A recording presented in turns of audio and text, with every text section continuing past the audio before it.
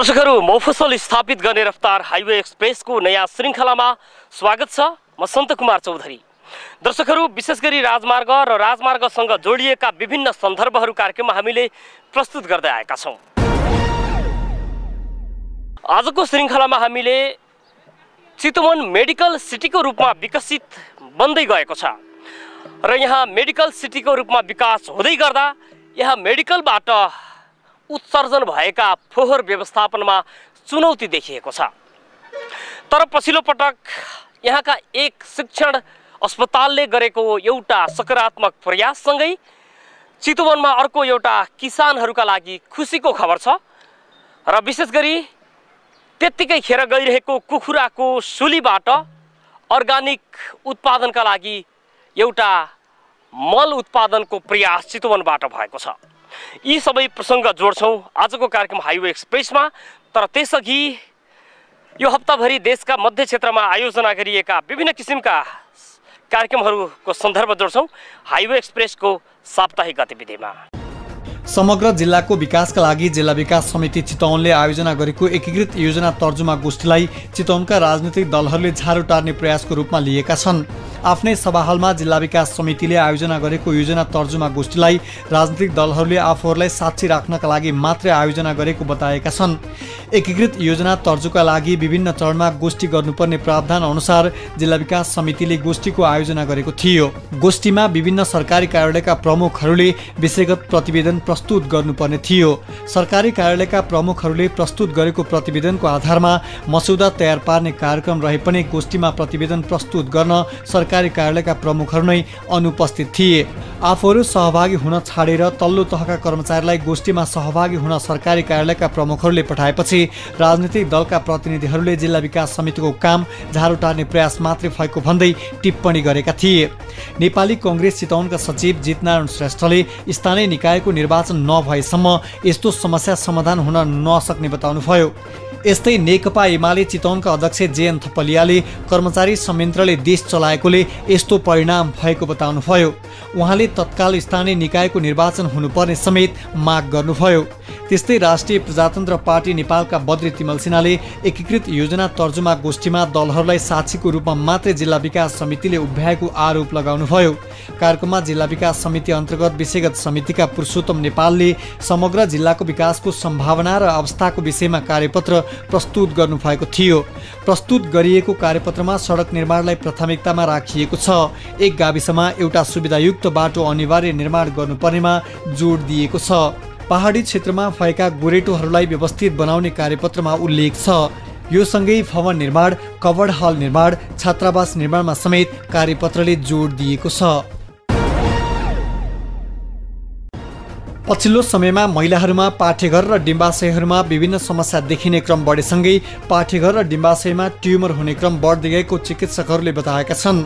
यसकारण महिलाहरू आफ्नै स्वास्थ्य अवस्था ठिक छ कि छैन भन्ने विषयमा अलि बढी सचेत हुन आवश्यक रहेको उनीहरूले बताएका छन्।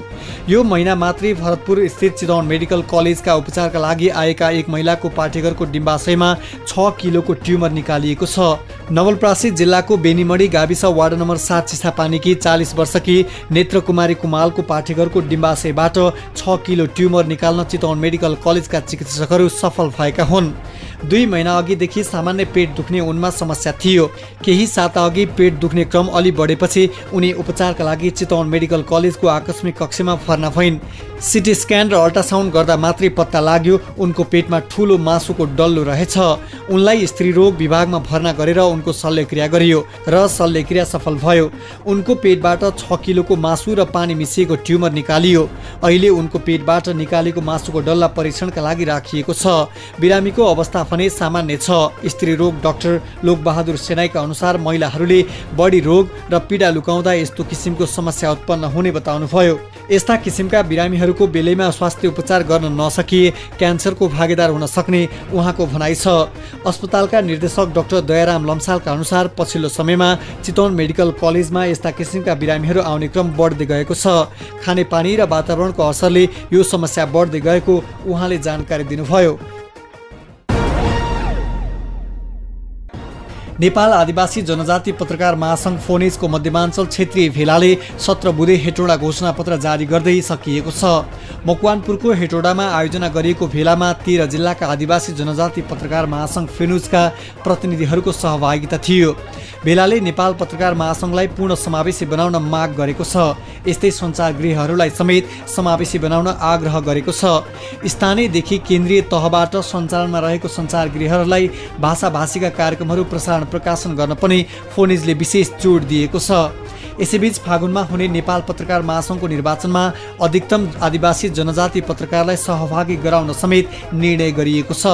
भेला समापन कार्यक्रममा सम्बोधन गर्दै नेपाल आदिवासी जनजाति पत्रकार महासङ्घ फोनिजका केन्द्रीय अध्यक्ष दण्ड गुरुङले नेपाल पत्रकार महासङ्घलाई पूर्ण समावेशी बनाउन माग समेत गर्नुभयो। नेपाल पत्रकार महासङ्घले जनजाति दलित मधेसी एवं पिछडा वर्गलाई समेट्न नसकेको भन्दै महासङ्घको निर्वाचनप्रति शङ्का व्यक्त गर्नुभयो।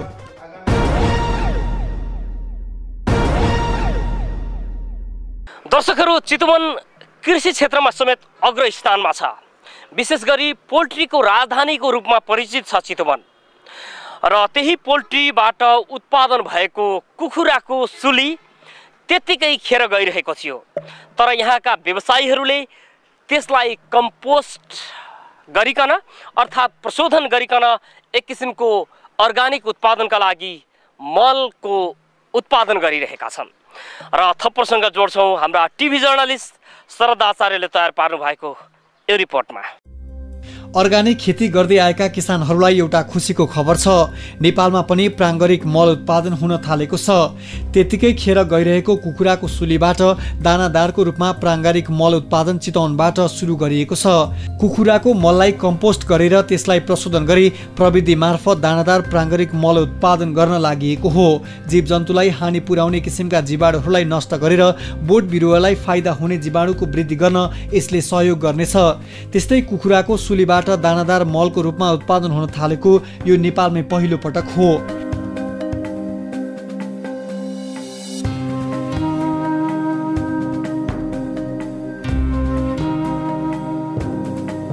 चितवनको शारदा नगरमा एग्रो हेल्थ बायोटेक प्रणालीका रूपमा चितवनका व्यवसायीहरूले यो अभियान सुरु गरेका हुन्। यहाँबाट उत्पादन गरेको दानादार प्राङ्गरिक मल अर्ग्यानिक खेती गर्दै आएका किसानहरूका लागि बजारमा लगिनेछ।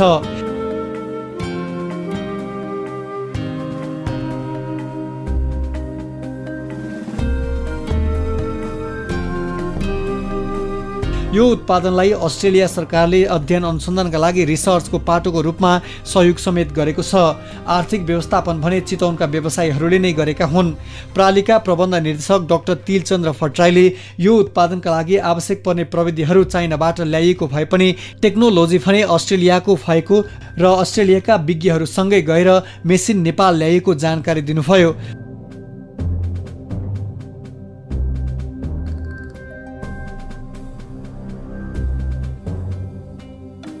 अहिले थाइल्यान्ड र छिमेकी राष्ट्र भारतबाट नेपालको बजारमा यस्ता किसिमका उत्पादनहरू आउने गरेका छन्। चितवनबाट सुरु गरिएको उत्पादनलाई बढाएर र बजार व्यवस्थापन गर्न सके यसको सम्भावना राम्रो रहेको एग्रो हेल्थ बायोटेक प्रणालीका प्रबन्ध निर्देशक डाक्टर तिलचन्द्र भट्टराईले बताउनुभयो। कुखुराको मलबाट त्यसलाई कम्पोस्टिङ गरेर प्रोसेसिङ गरेर दानादार मल चाहिँ प्राङ्गारिक मलको रूपमा हामी उत्पादन गर्दछौँ। यो प्रक्रियामा हामीले यो जीव जन्तु बिरुवाहरूलाई हानि पुर्याउने किसिमका जीवाणुहरूलाई नष्ट गर्छौँ र बोट बिरुवाको लागि फाइदाजनक हुने जीवाणुहरूको वृद्धि गराउँछौँ र त्यसरी वृद्धि गराइसकेपछि त्यसलाई प्यालेटको रूपमा दानाको रूपमा हामी तयार गर्छौँ र त्यो तयार गरेको वस्तु हामी बजारमा लैजान्छौँ। यो नेपालमा पहिलोचोटि हामीले सुरुवात गरेका छौँ। यसलाई एकदमै राम्रो गुणस्तरीयता कायम गरेर नेपालको अर्ग्यानिक प्रोडक्सनमा महत्त्वपूर्ण योगदान दिने किसिमले हामी यसलाई लान चाहिरहेका छौँ। करिब दुई करोड पचास लाखको लागतमा सुरु गरिएको यो प्रोजेक्टको अस्ट्रेलियन राजदूत हि गिलिन वाइटले एक कार्यक्रमका बीच उद्घाटन गर्नुभयो। उद्घाटन कार्यक्रममा पूर्व अर्थमन्त्री डाक्टर प्रकाश चन्द्र लोहनी समेत उपस्थित हुनुभएको थियो। उद्घाटनपछि न्युज ट्वेन्टी फोर टेलिभिजन सङ्घको प्रतिक्रियामा पूर्व अर्थमन्त्री लोहनीले चितवनबाट सुरु भएको बायो फर्टिलाइजर प्रविधि निकै आकर्षक रहेको र अर्ग्यानिक उत्पादनलाई लक्षित गरेर सुरु गरेको यो उत्पादनलाई चौतर्फी सहयोगको आवश्यक रहेको औल्याउनुभयो अरू यस्ता काम गर्न चाहने कम्पनीहरूलाई सरकारले सहयोग गर्नुपर्ने उहाँको भनाइ छ। बायो फर्टिलाइजर प्रोजेक्ट यो निकै आकर्षक लाग्यो मलाई किनभने यो कुखुराको सुली जुन छ नि त्यो यसै वेस्टमा गइराखेको। मान्छेलाई त्यसलाई कहाँ लगेर फालौँ भन्ने हुन्थ्यो। चितवन त फेरि अब पोल्ट्रीको एउटा ठुलो हाम्रो देशको चाहिँ एउटा ठुलो केन्द्र हो। अब त्यो गइरहेको वेस्टलाई लिएर आएर त्यसलाई मेसिनबाट प्रोसेस गरेर प्रशोधन गरेर फर्टिलाइजरको रूपमा निकालेर त्यो फर्टिलाइजर चाहिँ अर्ग्यानिक फर्टिलाइजरको रूपमा निकालेर त्यसलाई किसानहरूलाई प्रयोग गर्न दिने भन्ने जुन कन्सेप्ट छ नि जुन प्रविधि यहाँ लिएर आएर अहिले सुरु गरेको छ त्यो त नेपालमा पहिलो जस्तो लाग्छ मलाई र तपाईँहरूले जुन यहाँ सुरु गर्नुभएको छ यसको लागि जसले यो अस्ट्रेलियन एम्बेसीले सहयोग पनि टेक्निकल हेल्प गरे भन्ने सुने मैले। यहाँको लगानीकर्ताहरूले लगानी गरेको जुन गर्नुभएको छ दिस इज भेरी गुड यो असाध्यै राम्रो छ र नेपालको किसानहरूको लागि चाहिँ फाइदा हुने कुरा हो। यस्ता कुराहरूलाई नेपाल सरकारले पनि अरू अरू यस्ता गर्न चाहने कम्पनीहरूलाई इन्करेज गर्नुपर्छ। र कमसेकम वर्षको चाहिँ मैले यहाँ सोधेको थिएँ कति यो बन्छ भनेर। यसले राम्रोसित काम गर्यो भने वर्षको बाह्र हजार टन बन्छ। यस्तै पाँच सातवटा फ्याक्ट्री खोल्यो भने त वर्षको एक लाख टन त बायो फर्टिलाइजर त बन्दो रहेछ। बनाउनु नसकिन् त होइन। मान्छे लगानी गर्नु तयार देखियो। अन्त यो कुरालाई चाहिँ इन्करेज गरेर नेपाल सरकारले नेपालको कृषि मन्त्रालय र कृषिका विशेषज्ञहरूले यसलाई अगाडि लैजानुपर्छ यसरी चितवनबाट सुरु भएको यो अभियानलाई अन्य क्षेत्रमा समेत विस्तार गर्न आवश्यक रहेको भन्दै अस्ट्रेलियन राजदूत हि ग्लिन व्हाइटले नेपालको अर्ग्यानिक उत्पादनमा सधैँ आफूहरूले सहयोग गर्ने बताउनुभयो। उहाँले कम्पनीको उत्पादन र उत्पादन गर्ने प्रविधि प्रशोधन गर्ने तरिकाको विषयमा जानकारी लिनुभएको थियो। यसरी खेर जाने कुखुराको सुलीबाट मल बन्ने भएपछि वर्षेनी मलका लागि सहकारीमा लाइन बस्नुपर्ने र आवश्यकता अनुसार मल नपाउने बाध्यता पनि घट्दै जाने निश्चित छ।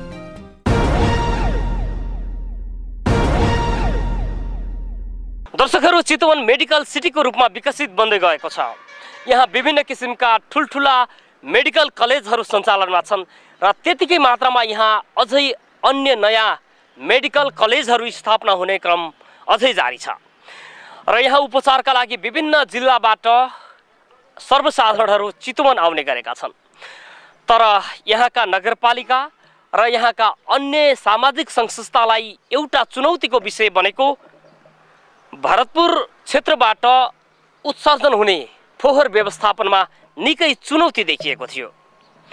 र भरतपुर नगरपालिकाले फोहोर व्यवस्थापनका लागि अनेक प्रयास गर्यो तर अझै उसको प्रयास भने सफल हुन सकेन। तर चितवनको सदरमुकाम भरतपुरमा स्थापना गरिएको चितवन मेडिकल कलेजले भने केही साता अघि मात्रै एउटा नयाँ अभियान सुरु गरेको छ। ग्रिन एन्ड क्लिन सिएमसीको रूपमा अर्थात् हरियाली र सफायुक्त चितवन मेडिकल कलेजको रूपमा एउटा अभियान सुरु गरेको छ र यो अभियान सार्थक बनाउन यहाँका सामाजिक सङ्घ संस्था एवं भरतपुर नगरपालिकाले समेत आग्रह गरेको छ। र यो भरतपुरमा रहेको चितवन मेडिकल यो सकारात्मक कार्य हो, यही भनिरहेका छन्। आखिर चितवन मेडिकल कलेजले यो अभियान कसरी सुरु गर्यो र अभियान सुरु गर्दा के कस्ता दृश्यहरू देखिएका थिए? अब एकैछिन जोड्छौँ। अर्को रिपोर्ट अबको सन्दर्भमा। प्रजातन्त्र दिवसको अवसरमा चितवन मेडिकल कलेज शिक्षण अस्पतालले ग्रिन एन्ड क्लिन सिएमसी अभियान सुरु गरेको छ। कलेजले आज आफ्नै परिसरमा एक भव्य कार्यक्रमको आयोजना गरी अभियान सुरु गरेको हो। अभियानको प्रमुख जिल्ला अधिकारी नरेन्द्र राज शर्माले उद्घाटन गर्नुभयो। उद्घाटन पश्चात आयोजित कार्यक्रमलाई सम्बोधन गर्दै प्रमुख जिल्ला अधिकारी शर्माले जिल्लाको सौन्दर्यता झल्काउन यसले महत्त्वपूर्ण भूमिका खेल्ने बताउनुभयो। तनको मैलो धनको मैलो र मनको मैलो सफा गर्न नसकेसम्म असल संस्कार विकास हुन नसक्ने भन्दै प्रमुख जिल्ला अधिकारी शर्माले चितवन मेडिकल कलेजले प्रशंसनीय कामको सुरुवात गरेको भन्दै खुसी व्यक्त गर्नुभयो। प्रमुख जिल्ला अधिकारी शर्माले स्वास्थ्य संस्थाबाट उत्सर्जन हुने फोहोर व्यवस्थापनका लागि समेत चासो लिन स्वास्थ्य संस्थाहरूलाई आग्रह गर्नुभयो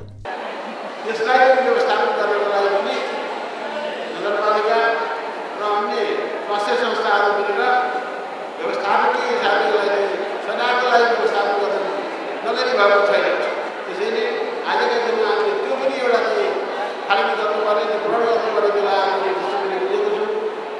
स्वास्थ्य संस्था र भरतपुर नगरपालिका मिलेर अस्पतालहरूबाट निस्किने फोहोरको दिगो व्यवस्थापन गर्न सके आम जनतालाई फाइदा पुग्ने उहाँले बताउनुभयो। कार्यक्रममा कलेजका अध्यक्ष तथा प्रबन्ध निर्देशक प्रोफेसर डाक्टर हरिशचन्द्र नेौपानेले चितवनलाई हरियाली युक्त सफा सुग्घर जिल्लाको रूपमा विकास गर्न चितवन मेडिकल कलेजले यो अभियान सुरुवात गरेको जानकारी दिनुभयो। यो अभियानलाई समग्र चितवनवासीहरूले सहयोग गर्नुपर्ने उहाँको भनाइ थियो हाम्रो यो सा- सानो सुरुवात हो र त्यसको लागि जुन हामीले एउटा टिम मेम्बर पाएका छौँ सुमनजी जुन नयाँ आउनुभएको छ म उहाँलाई पनि एकदम धेरै हौसला दिन चाहन्छु कि हामी यस चितवन मेडिकल कलेजका कर्मचारीहरू हामी डक्टरहरू हामी फ्याकल्टिजहरू र चितवन मेडिकल कलेजका वरिपरिका जुन टोलवासीहरू छौँ हामी सबैले यसलाई एकदमै राम्रो बनाउन चाहेका छौँ भन्ने कुरा मलाई जहाँसम्म लाग्छ आजसम्मको यो चार पाँच दिन यो दस दिन पन्ध्र दिनको जुन यो हाम्रो एउटा अनवरत जुन मेहनत गऱ्यौँ हामीले ग्रिन ग्रिन सिएमसी बनाउनको लागि। र यो यसले हामीले के प्रुभ गरेका छौँ भने हामी साँच्चै काम गर्न सक्नेछौँ तर हाम्रो सबैको सहयोग चाहियो। हामी एउटा एउटा एकदमै युनाइट भएर काम गऱ्यौँ भने मलाई लाग्छ हामीले हामीले चाहेको कुरा गर्न सक्छौँ। र अघि शिव साहबले भने जस्तै ग्रिन एन्ड क्लिन भनेको एउटा हामीले भनेर नारा लगाएर मात्रै हुने होइन। हामीले काम गरेर देखाउनु पर्नेछ यो सुरुवात हो यसलाई मेन्टेन गर्नु एकदम ठुलो कुरा हो। र मलाई लाग्छ जुन हाम्रो कर्मचारी साथीहरूले हाम्रो स्टाफहरूले जति मिहिनेत गरेर देखाउनु भएको छ त्यो मिहिनेत यसरी नै हामी गर्दै गयौँ भने मलाई लाग्छ पक्का पनि हामीले ग्रिन एन्ड क्लिन सिएमसीको नारा हामी सफल पार्न सक्छौँ। प्रोफेसर डाक्टर नेौपानेकै अध्यक्षतामा आयोजना गरिएको कार्यक्रममा भरतपुर नगरपालिकाका कार्यकारी प्रमुख नारायण प्रसाद सापकोटा अस्पतालका प्रमुख कार्यकारी निर्देशक सुबोध सुधाकर रिजाल निर्देशक दयाराम लम्साल कलेजकै जुरी कमिटीका डाक्टर विजयराज आचार्य लगायतले सफा सुग्घर चितवन बनाउन सके स्वास्थ्यमा मात्र नभई पर्यटनमा समेत सुधार आउने विचार राख्नु भएको थियो। सो अवसरमा चितवन मेडिकल कलेजभित्रका विभिन्न विभागमा गरिएका अनुगमनको क्रममा सफा र व्यवस्थित पाइएको चारवटा विभागका उत्कृष्ट विभागको अवार्ड सहित प्रमाणपत्र प्रदान गरिएको थियो। अहिले नगरे कहिले गर्ने मैले नगरे कसले गर्ने भन्ने नाराको साथ सुरु गरिएको ग्रिन एन्ड क्लिन सिएमसी हरियाली र सफा चितवन मेडिकल कलेज अभियानलाई प्रभावकारी बनाउन अस्पताल प्रशासनले प्रतिबद्धता समेत जनाएको छ। अभियान अन्तर्गत अस्पताल क्षेत्रमा सरसफाइ बढाउन विभिन्न जातका बोट बिरुवादेखि फुल फुल्ने बिरुवा लगाउने कार्य सुरु गरिएको हो। कलेज परिसरमा हुने फोहोर र फोहोरजन्य वस्तुलाई व्यवस्थापन गर्दै फोहोरजन्य वस्तु जथाभावी नफाल्न जनमानसमा जागरण ल्याउनका लागि पनि विभिन्न कार्यक्रम गर्ने समेत चितवन मेडिकल कलेज शिक्षण अस्पतालले जनाएको छ। यसैबीच भरतपुर नगरपालिकाले यो चितवन मेडिकल कलेजले सुरु गरेको यो अभियानलाई अन्य अस्पतालहरूले समेत सिको गर्नुपर्ने बताएको छ। नगरपालिकाका कार्यकारी प्रमुख नारायण प्रसाद सापकोटाले यसै गरी अन्य अस्पताल तथा सामाजिक सङ्घ संस्थाले सामाजिक उत्तरदायित्व पुरा गर्ने हो भने चितवन देशकै नमुना जिल्ला बन्ने ठोकुवा गर्नुभयो। भरतपुर नगरपालिका सरसफाइ व्यवस्थापनमा मैला व्यवस्थापनमा एकदम सिन्सियर छ। संवेदनशील भएर लागेको छ। र भर्खरै मात्र चाहिँ CMC Chitwan medical college teaching हस्पिटलले clean and clean CMC भनेर चाहिँ एउटा अभियान सुरु गरेको रहेछ। यसमा भरतपुर नगरपालिकाको पूर्ण साथ छ र सिएमसीले जुन क्लिन सिएमसी भन्ने जुन अवधारणा ल्याएको छ त्यसै हामीले पनि नगरपालिकालाई सफा र सुन्दर नगरपालिका भन्ने अभियानमा अगाडि छौँ। र यो एउटा सिएमसी पनि नगरपालिकाभित्रको एउटा कम्पोनेन्ट भएको हुनाले एउटा खण्ड भएको हुनाले सिएमसीले थालेको अभियान अरू सबै नगरपालिकाभित्रका चाहिँ निजी अस्पतालहरू र ठुला मेडिकल कलेजहरू जस्तो सिएमएस जुन चाहिँ चितवन मेडिकल साइ- साइन्सेस जुन छ र क्यान्सर हस्पिटल हस्पिटल लगायत भरतपुर हस्पिटलले पनि यो चाहिँ क्लिन सिएमसीको जस्तो अवधारणा ल्याउन सकेमा। र त्यस्तै प्राइभेट हस्पिटल हस्पिटलहरू जुन प्रालीहरू छन् तिनीहरूले पनि आफ्नो फोहोर मैला सहज रूपमा व्यवस्थापन गरिदिएको खण्डमा हाम्रो नगरपालिका सुन्दर सफा नगरपालिका हुनेमा एकदमै कोसेढुङ्गा अ, साबित हुनेछ भन्ने मलाई लागेको छ। र तथापि प्राइभेट प्रणालीहरू जुन कम्पनीहरू छन् जुन मेडिकल लाइनमा काम गर्ने कम्पनीहरू हस्पिटलहरू छन् यिनीहरूले आफ्नो फोहोर हस्पि हस्पिटलजन्य फोहोरहरू व्यवस्थापन गरेका छन्। तर तथापि यसमा केही गुनासोहरू पनि आएको हामीले सुनिएको छ।